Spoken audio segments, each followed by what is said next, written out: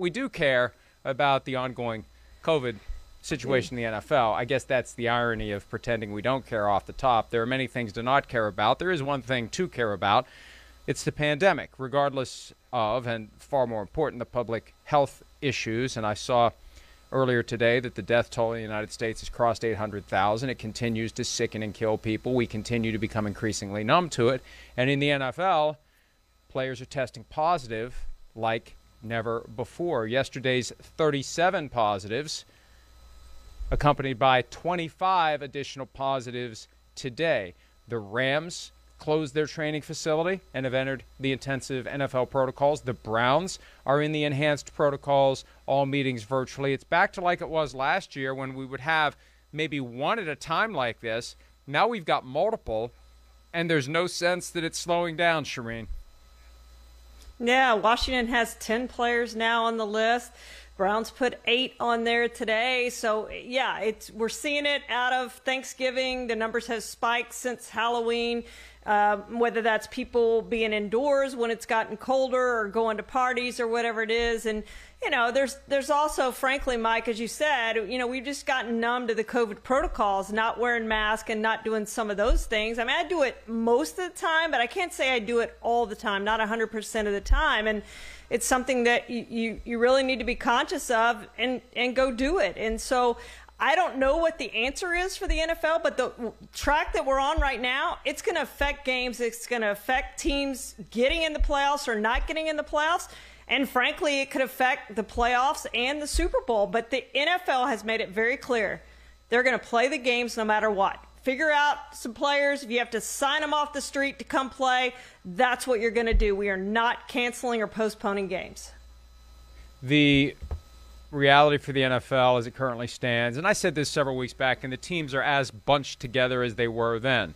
The Super Bowl champion is going to be the team that manages to yep. stay healthy, that manages to avoid COVID, that manages to rise up at one key moment. There's going to be some key play, some decision, bounce the ball, whatever, and also they're going to benefit from the bad calls that we see from time to time. Because for every team that gets stung by a bad call, there's a team that benefits from the bad call. Those things all go into the blender, and you press the buttons, you crunch the numbers, and those are the factors that will determine who wins it all this year. But that reality of the vague possibility, any given moment, any given day, a player of significant name recognition landing on COVID 19 reserve is there. And, you know, Charean, I really do believe they need to start considering the bubble concept for the postseason.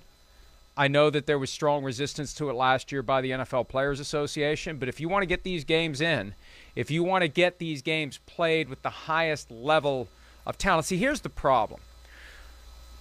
They're going to play the games, as you said. I don't know what the magic minimum number is between 11 and 40 players who are able to suit up and play, but I have a feeling it's closer to 11 than 40. There's 69 total players. Even the Lions this weekend, with all the guys who had the flu and all the guys on COVID reserve, there was never a question that they weren't going to have enough players to play. You're not going to have some of your best players, but you're going to have enough players. But they're going to play the games. So, from the players' perspective, they can look at it and say, we don't need to do anything because – the money's still going to come in. The games are still going to be played. We don't have to separate ourselves from our families for a month for no additional consideration because we're still going to have these games played no matter how many guys test positive. I think that's the attitude that the NFL would be dealing with if the NFL tries to get the players to agree that they're going to have some sort of a soft bubble in the postseason, whether it's the final eight, final four, final two, whatever the case may be, they need to be thinking about that because I have a feeling the upcoming holiday season is not going to make the situation better. It's only going to make it worse. Yeah, and people are gathering, and again, you know, the other variants are coming in and they spread more rapidly, and all of those things that we're seeing the uptick on the positive COVID cases. And we all thought, well, after the vaccines came in, we're over it. Sean McVay talked about today all the guys that they've had who tested positive uh, are vaccinated. So I have a proposal, Mike. I have a different proposal than a bubble, and I've thought a lot about this today. You've talked about at some point the NFL is going to treat it like the flu, whether it's next year or whatever. At some point, they treat it like the flu. Guys go out there, they play if they're well enough to play. So, what if you mandate, which they mandated, as we know, tier one, tier two staff have to get the booster shot by December 27th? They released that yesterday. So, what if you tell the players, what if the, both sides agree, because it takes the NFLPA to agree with the NFL? If you get the booster, now, if you've had COVID, we know that they, what is it, 90 days or whatever it is, they don't have to test. But if you get the booster, if you haven't had COVID recently, you get the booster, we're not going to test you at all, period. We're not going to test you. Unless you have symptoms, we're not going to test you. At that point, a lot of players probably are playing with COVID, but frankly, they're asymptomatic. And the NFL has said repeatedly, we don't think, we have no evidence that it can be transmitted during a game. Well, and I believe that that is something they need to consider for one very important reason. I tweeted that notion today that the NFL should let asymptomatic yeah. players who are positive still play in games because, again, there is no evidence it transmits in that setting.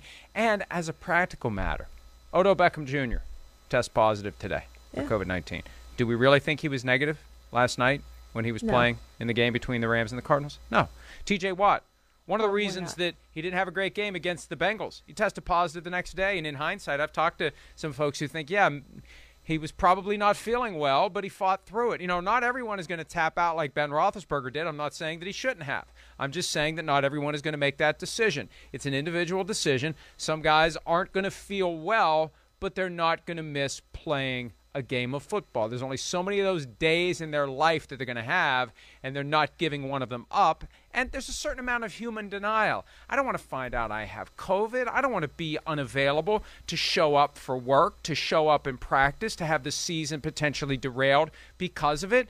You got to process a lot of things if all of a sudden you're not feeling well. Like you don't want to know if you have it. You think you can fight your way through it. You think it's not it. So my point is, a lot of guys are playing with COVID already that are symptomatic. The current and and look, I I understand that the NFL created a looser protocol for vaccinated players in order to persuade players to get vaccinated. But the reality is the testing regimen for the vaccinated allows players to be in the building without masks on the practice field without masks, at games without masks, or any other precautions anywhere. If they're positive, yeah. and you, you only find out in your once per week test. So there's already a weird, glaring, logical flaw in the protocol.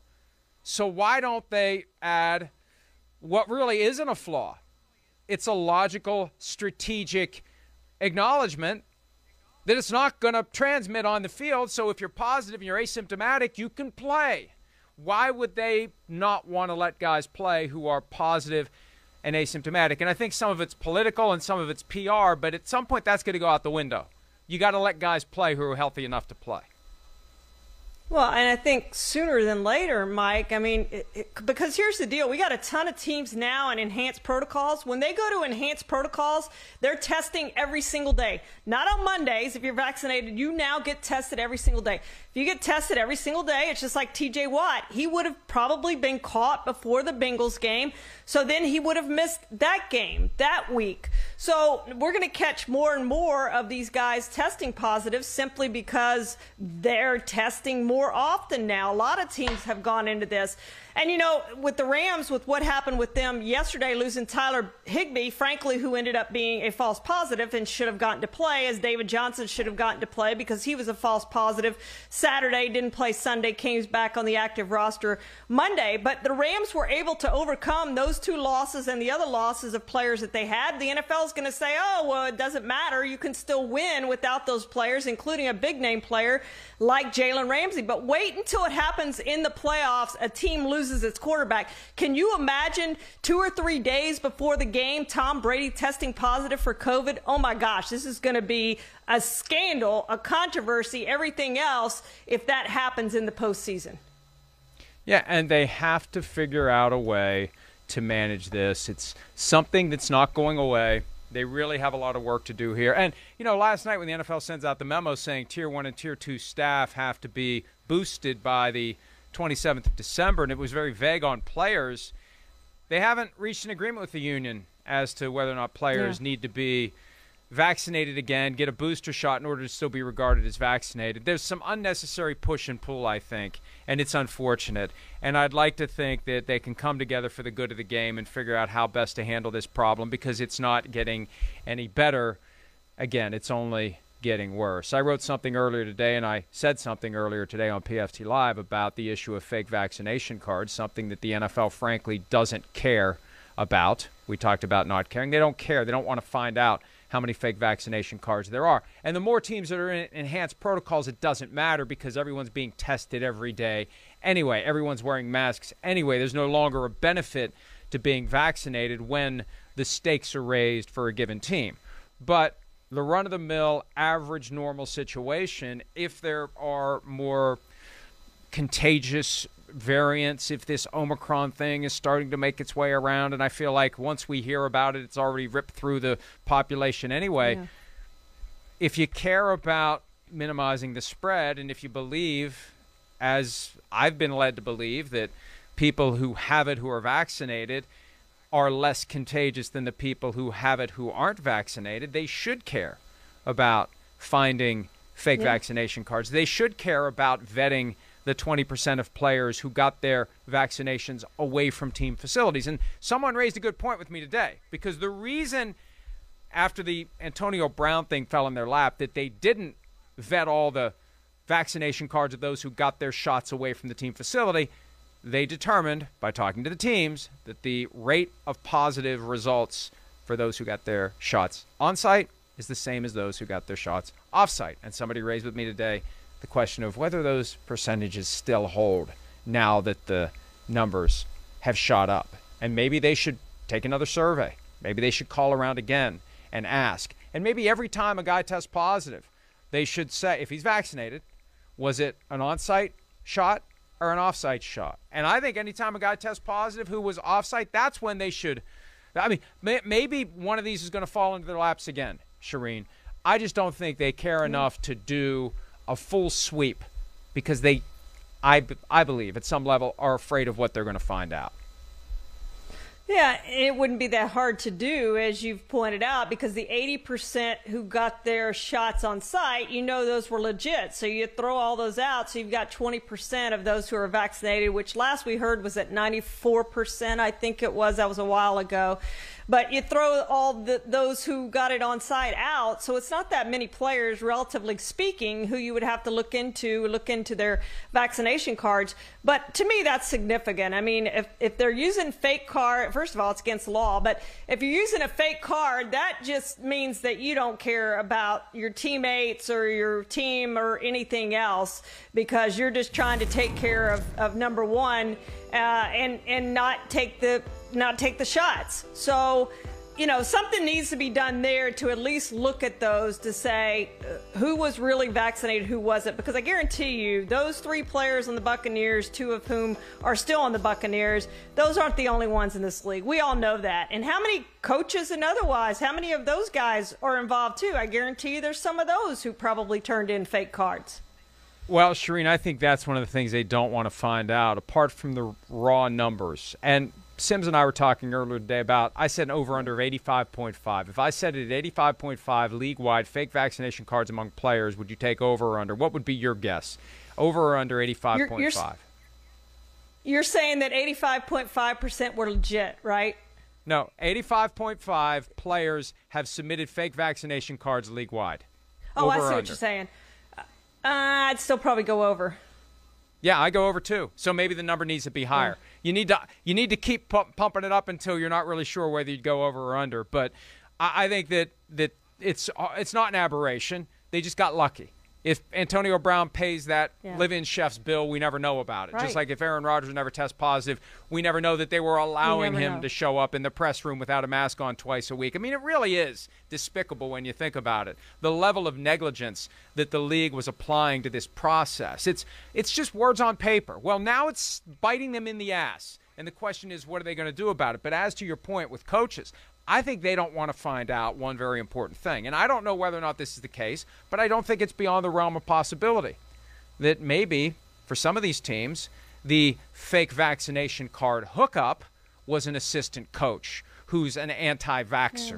Who feels very strongly that it's all bogus and it's all phony, and I can't believe they're wasting our time with this.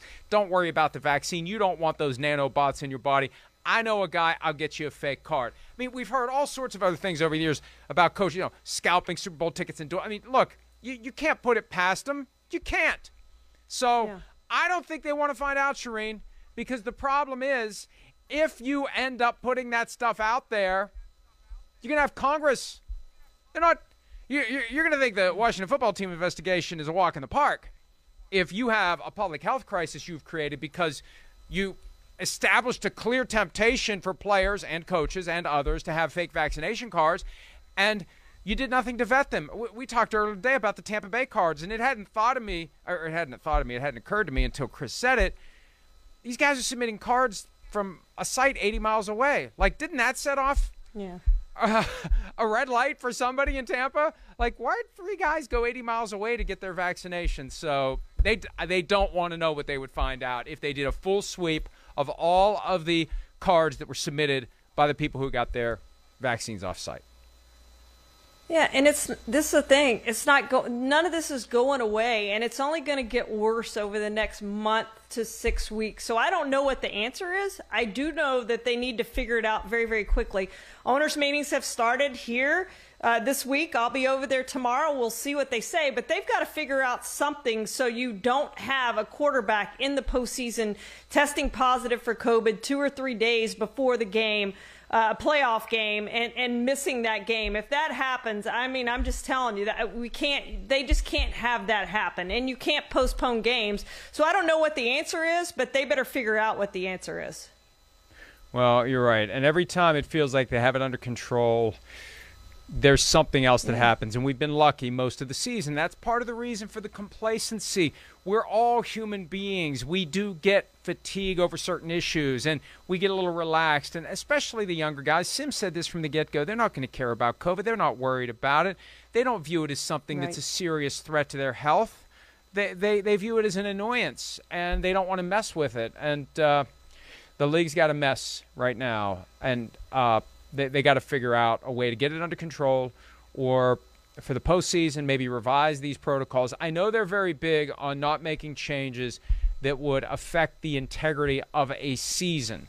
You know, like if all of a sudden they would say asymptomatic players who are positive can play, that's not fair because they've been knocking players out all year long who were asymptomatic and COVID positive. Maybe it's something you can do for the postseason. Maybe, I mean, they can do whatever they want, right. and we see them make it up as they go all the time. Yeah. This is the ultimate situation to justify making it up as you go. And I think that would be a smart thing for them to consider. You can keep the guys who are positive and asymptomatic away from everyone else, but when it's time to show up and play, you, you go out on the field without fear that eh, the virus is going to be transmitted to anyone else. Hi, I'm Mike Tirico, and thanks for watching. Make sure to hit subscribe for the latest news and highlights from NBC Sports.